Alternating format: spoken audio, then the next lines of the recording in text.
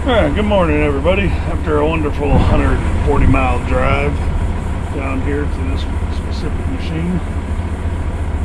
Came down yesterday, troubleshot it, they complained it was a fuel leak. Come to find out it blew threads out of the injection pump. So today we're going to show you how to change an injection pump out on a CAT C93 engine. It's uh, notorious in 140M motor graders 336 excavators, D6T dozers, and if I remember correctly, I believe it is 972 engines or 962 uh, loaders. One of those two models has the C93 in. I have to look it up to remember exactly. Anyways, CAT C93. Um, you may also find over-the-road trucks same engine. Uh, F750s run them and whatnot on the older models. This procedure is the same for all of them. Uh, granted, you do an excavator, you'll be hanging upside down on some of that. Uh, the dozer's a little more cramped, a little more compact in there to get to everything. Um, by far, the two easiest ones on here are going to be your wheel loader and the motor grader to get them done. Um, and F750s are pretty easy to get done as well. So, get started. I got a panel I got to pull back out of the way so I can get in and bar the engine over. You got to time the engine and whatnot. And then uh, we'll go from there. I already got a few of the things removed from yesterday during the troubleshooting. So, yeah, we'll go from there. Ah.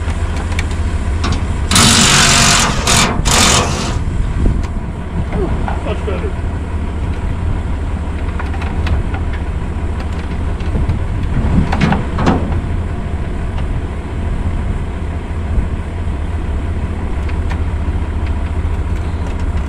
Alright, make a special tool to do this job as far as uh, barring the engine over found it's just as easy if you got a big enough pipe wrench to fit over the crank pulley.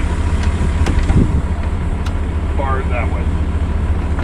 Uh, as you can see, fuel filter housing and stuff's already been removed. Courtesy of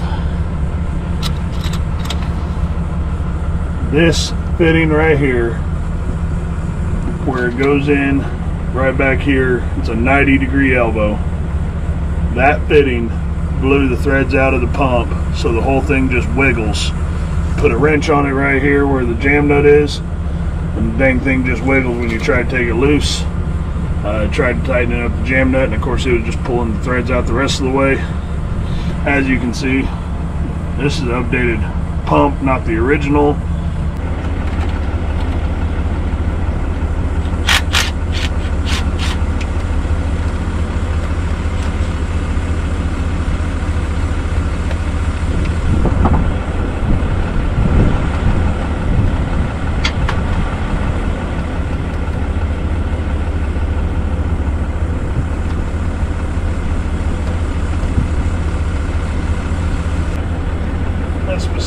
Line is considered trash by Caterpillar.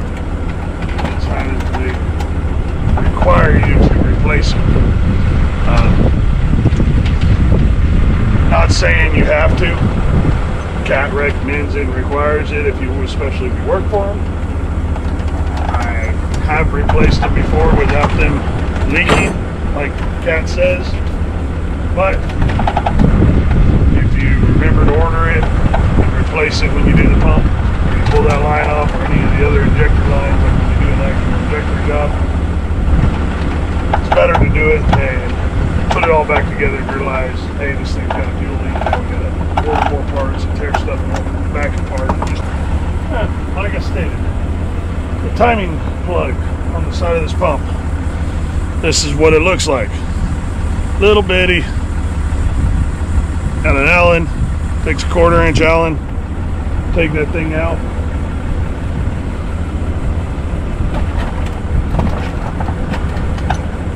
Sometimes they can be a little snug. I do not put them in with an impact. Uh, we'll take them out. Inside that little hole, there will be a timing mark in there that the special timing bolt comes in. Now you got your leverage to bar it over. Try to get you in here anyways. I don't know if it'll be possible, but we'll see. Yeah, you might be able to kind of tell. It's like a little dip in there. It's like an oval, oval dip. Everything else is smooth. This is the only dip in this thing. For those wondering what the timing bolt would look like, it looks like this right here. It's got a little bitty nipple on it.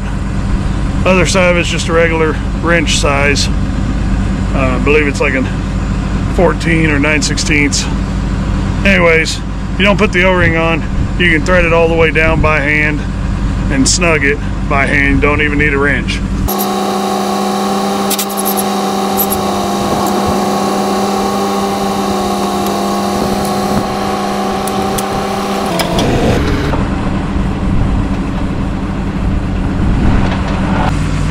It's loose, gets in the way sometimes. Two, got the pump off. We got the new one here in the box. As you can see, this one has a timing bolt here, just like we put in the old one when we took the old one off. This one's also got no fittings on it or anything. So, I'm going to swap fittings over real quick. Once that's taken care of, we'll get everything back up in place, get it mounted, and put everything back together. And we'll be ready to start the machine and put it back to work. Some of these little plastic plugs, they can be a pain in the butt.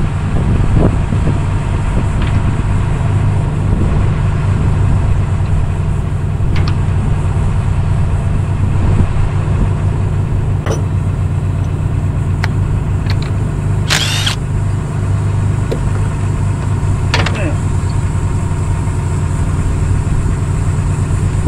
As you can see, that was the culprit with the old one. That is the whole reason that we got to change this thing out. Now that's something nice to notice. So there's a nut that's supposed to go here, and obviously there wasn't one here. It's supposed to go here. Hold those in place, keep that sturdy. My guess, because that's not tight, lots of vibration these, that these machines see, probably the cause of the failure. It's got a jam nut on it, so you can just tighten the jam nut once you position it.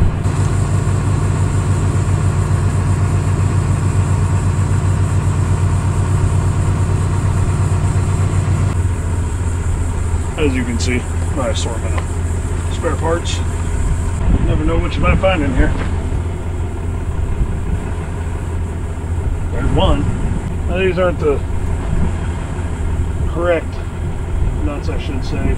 They didn't come with a, they're not what Holt sends, or what Caterpillar would send you if you order from Cat. But,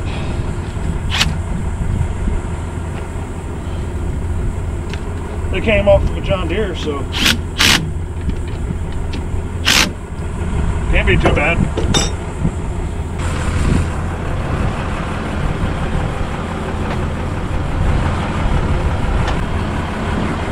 Get a few teeth off, and may not even run.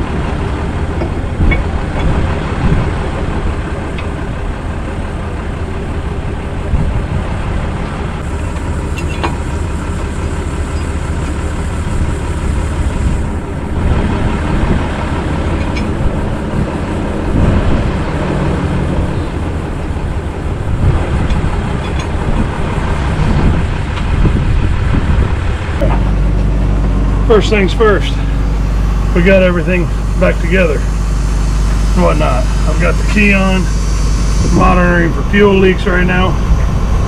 Let this pump cycle, oh, at least until it shuts off. Make sure that the dang uh, fuel system's fully primed. Currently, I don't see any fuel leaks.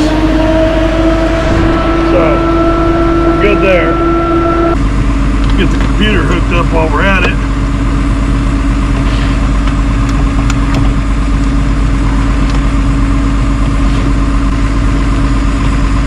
Computer loads, we'll double check faults, make sure there's nothing related to what we just did.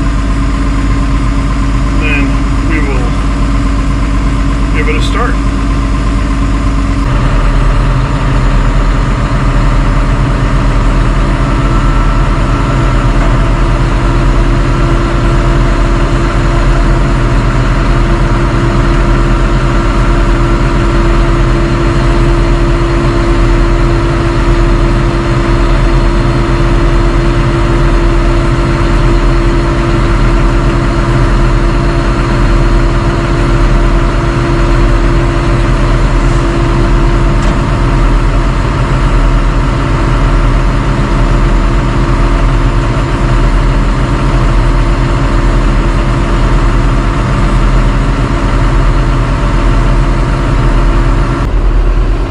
Anyways, gonna do what we call a product status report.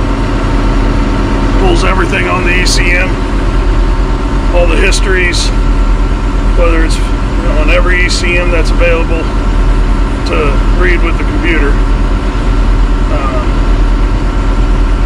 main reason for doing the product status report is kind of a CYA. Gives me the ability to come back if a customer tries to call me and say, hey, you touched this machine last, now it's doing this or whatever, blah, blah, blah, and it's got this fault. I can pull history on it and say, okay, well, when I messed with it, it had 10,362 hours on it, and the issue you're complaining about happened long before I ever touched it. But you said leave it alone, so, you know, go from there. Um, but yeah, thanks for joining me on this. Uh, feel free to subscribe to my videos, see my videos and whatnot. We do a bunch of variations of things from working on heavy equipment and fixing it to working on vehicles, doing modifications to vehicles as far as upgrading factory parts with aftermarket parts. Um, thermal hunting and do some fishing and so on. So feel free to subscribe and see y'all next time. Thank you.